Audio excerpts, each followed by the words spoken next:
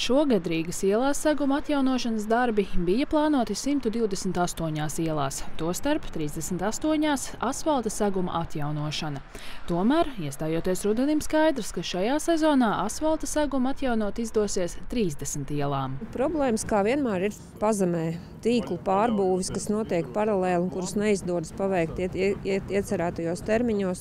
Līdz ar to mēs paralēlās ielās nespējam vienlaicīgi veikt darbus, lai neveidotos nepārvarami um, sastrēgumi. Līdz ar to, nu, diemžēl, tā pārplānošana notiek.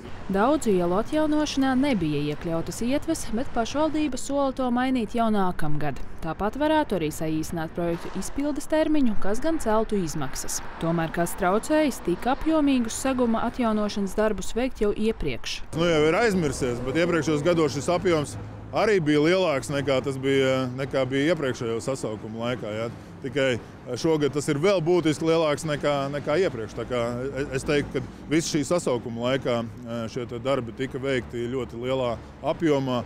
Palielināt apjomus ļāvuši arī grozījumi normatīvajos aktos, kuros noteikts, ka saguma atjaunošanu var veikt bez projektēšanas. Tomēr ielu saguma atjaunošanas darbi nav ritējuši tik raiti, kā gribētos, jo tirgus nav bijis gatavs tāda apjoma darbiem. Principā Līgumi jau bija noslēgti pat būvniecības jau jūnijas sākumā, bet mēs reāli sākām tikai 12. jūlijā arī šeit.